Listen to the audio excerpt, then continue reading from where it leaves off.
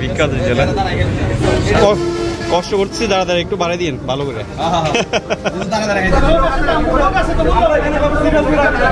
এত কষ্ট করে আসলাম এখানে যদি ভাবির রান্না না খেতে তাহলে কেমন হয়ে যায় না? এক সময় ট্রাক ড্রাইভার যারা যেত ওরা এখানে খাইতো দুই একদিন খাইতে খাইতে তো ট্রাক ড্রাইভারদের মধ্যে এটা খুব জনপ্রিয় হয়ে গেছে।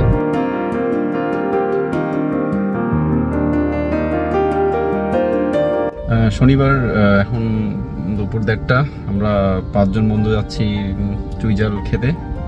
চুইঝালটা তো বিখ্যাত কেন সবাই জানেন? চুইঝালটা আহ, মাংসের সাথে রান্না করা হয় এবং এটার টেস্টটা একটু ডিফারেন্ট আর চুইঝালটা আসলে বেসিক্যালি পাওয়া যায় খুলনা এরিয়াতে। এখন শোনা যাচ্ছে আমাদের সীতাকুণ্ডে এই চুইঝালটা পাওয়া যায়। ভাবির হোটেল নামে একটা হোটেল আছে সীতাকুণ্ডে ওখানে চুইঝালটা পাওয়া যায় আর কি। তো আমরা আজকে এটা টেস্ট করতে যাচ্ছি।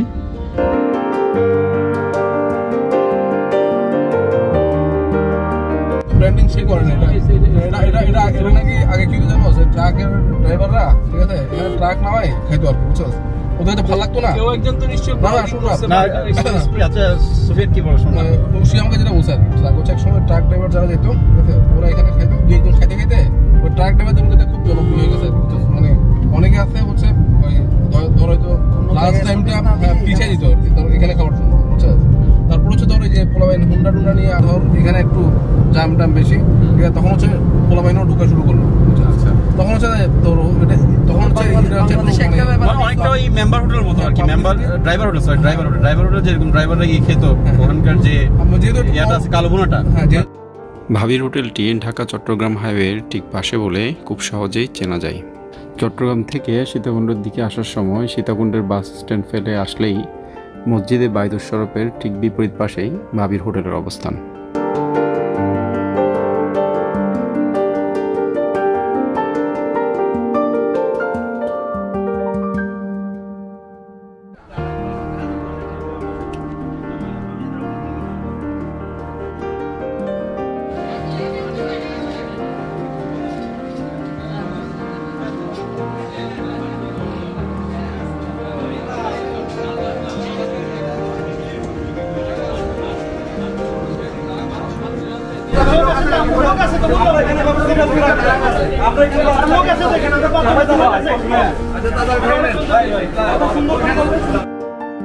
মানুষের জটলা দেখেই বোঝা যাচ্ছে চুইঝালের জনপ্রিয়তা সীতাকুণ্ডে কীভাবে বাড়ছে। দূর দূরান্ত থেকে মানুষ আসছে চুইঝাল খেতে। এত কষ্ট করে আসলাম, এখানে যদি ভাবির রান্না না তাহলে কেমন হয়ে যায় না?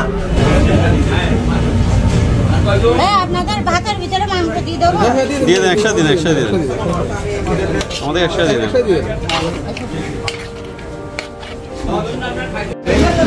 আসলে এত ঝামেলা হ্যাঁ? মনে হয় ওয়েট করতে গেলে আরও এক ঘণ্টা লাগবে। এখন আসলে হাতে হাতে নিয়ে খাওয়া ছাড়া কোনো ওয়ে দেখছে না। হ্যাঁ?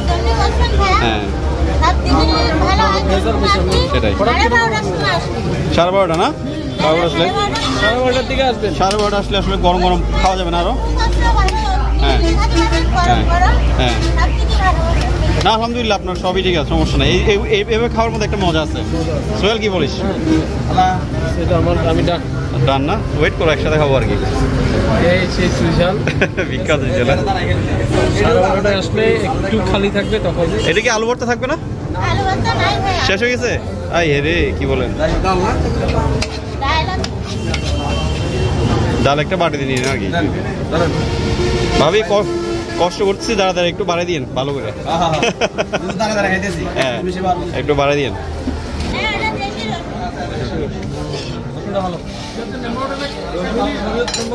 থ্যাংক ইউ থ্যাংক ইউ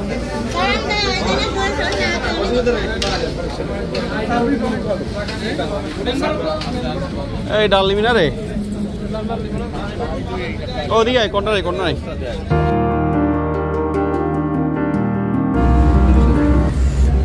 টুইঝাল আসলে এখানে মাংস আছে মনে হয় পাঁচ পিসের মতো আর একটা রসুন আছে। এটা হচ্ছে চুইঝাল সেই যে গাছটা আছে ওইটার একটা কাণ্ড। খেতে মোটামুটি ভালো আলহামদুলিল্লাহ টেস্ট আছে। বাট একটাই প্রবলেম দাঁড়া খাইতে হচ্ছে আর কি। হ্যাঁ? যদি সাড়ে বারোটায় কেউ আসে তাহলে খুব আরামসে একটু খাওয়া যাবে না? খাওয়া যাবে। খাওয়া যাবে। তখন মানুষজনও কম থাকে রান্নাটাও খুব গরম গরম হয়। এর সাথে কমপ্লিমেন্টারি আলু ভর্তা থাকে কিন্তু আজকে আলু ভর্তাটা মিস হয়ে গেল। বেগুন ভাজি থাকে সালাদও থাকে।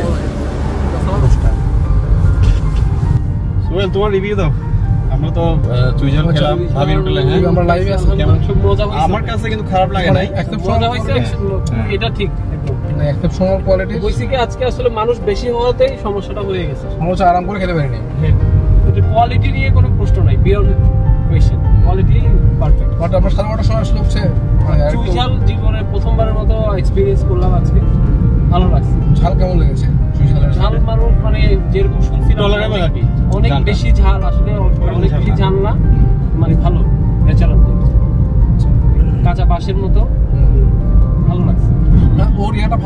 মাংসটা ফ্রেশ না।